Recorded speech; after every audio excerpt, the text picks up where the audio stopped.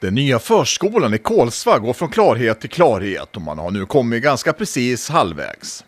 Även om vintern medfört både kyla och snö är det inget som i någon större omfattning påverkat tidplanen, som innebär planerad inflyttning till kommande höst. Vi startade här eh, efter semestern i några veckor in i augusti så började vi med schakten då.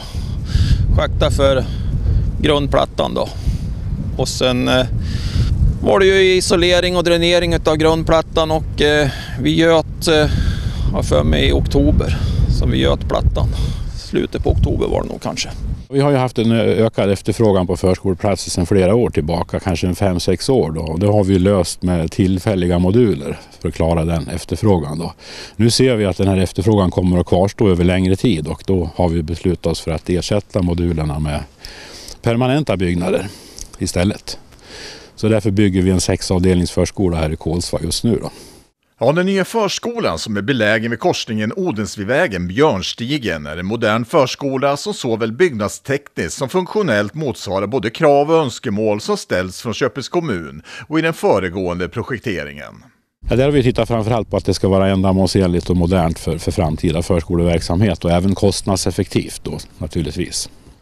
Förskolan består alltså av sex avdelningar där varje avdelning i princip är de andra lika. Varje avdelning är anpassad för 20 barn och således totalt 120 platser. Men kommer att ha ett snitt på cirka 15 barn per avdelning, det vill säga 90 barn. Därtill kommer en gemensam matsal och ett tillagningskök. Det är ju genomtänkt med, med grova entréer där du har möjlighet att klä av barnen och hänga upp kläderna i torkskåp. Och de, kommer man in med, med smutsiga kläder så finns det möjlighet för att spola av stövlar och galonbyxor och sånt här. Det är, det är väldigt fint och skötbord och sånt här det är höj och sänk bara för att göra det praktiskt för personalen att jobba med, med det här dagligdags. Då. Ja, och trots att det var både kallt och mycket snö under större delen av januari och en bit in i februari har det mesta löpt på som planerat.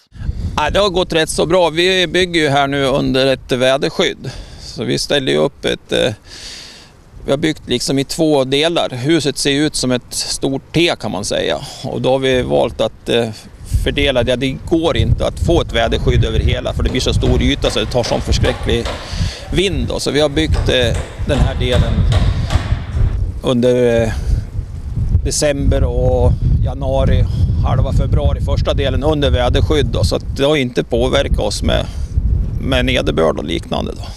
Sen är det ju vissa grejer som vi inte rår på, till exempel eh, urtorkning av själva betongplattan. Den måste ha sin, sin gång då. Tyvärr så är det den som styr hur, hur snabbt vi kan lägga mattor och, och, liknande på den. Den måste torkas ur innan det... Och det, det hjälper inte med... Det, det påskyndar väl kanske lite grann att man får, får, får värme i, i huset, va? Men, men det har en process att det ska ska torka ur. Och, och som vi bygger idag med, med cellplast under tjocka lager då, så att fukten kommer liksom, kan inte gå neråt utan den måste torka ur uppåt. Så att det, det är väl sånt som påverkar byggtiderna idag. I det stora hela så håller man alltså tidplanen och en beräknad inflyttning under september månad. Vi har väl fått revidera den lite grann då för att eh, just det här med uttorkning, för vi följer det. Vi, vi mäter upp i stomme och, och platta då, så att vi inte bygger in och fukt. Det, det är det som avgör då. och då har vi fått revidera lite framåt. Då. Men, men eh, annars så det är inga stora grejer som har stötit till, det är det inte. Ja, I och med att den nya förskolan i Kolsva står klar är det största behovet där tillgodosett. Men behovet av förskoleplatser i Köpings kommun är fortsatt stor. Och trots att det har byggts ett par nya in i tätorten bara de senaste åren är ytterligare byggnationer att vänta.